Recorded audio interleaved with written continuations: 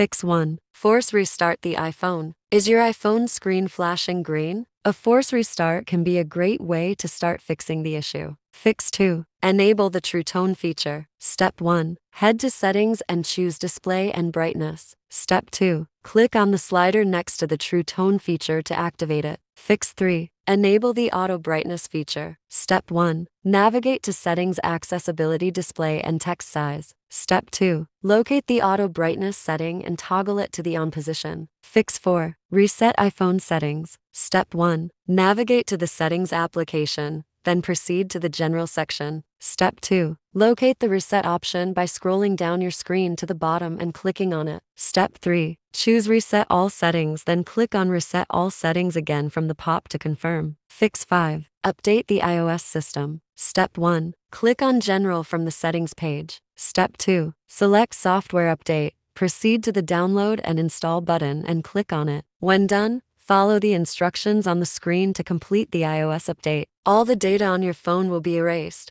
so create a backup beforehand. Fix 6. Remove background apps. To do that, press the Home button to times, and all apps operating in the background will appear. Next, you have two swipe up on each app from the lower section of the screen to remove them. However, this process varies with the model of your iPhone. Fix 7. Restore via iTunes. Step 1. Open iTunes on the PC and plug in your iPhone or iPad to the computer. Step 2. Once the phone gets detected, tap on the device icon in the iTunes interface. Step 3. Choose the summary option, then tap on the Restore iPhone option. This will restore your device. Fix 8. Perform DFU Restore. Step 1. Connect your iPhone to your PC and launch iTunes. Wait for iTunes to recognize your device. Step 2. Simultaneously press and hold the home and power buttons for approximately 10 seconds. Afterward, release the power button while continuing to press the home button. Step 3. iTunes will detect your iPhone in recovery mode and display a notification message. Step 4. Release the home button at this point. Fix 9. Use iOS System Recovery. Step 1. Launch iOS System Recovery after downloading and installing it on the computer. Make sure you select the right software version. When you get to the main interface,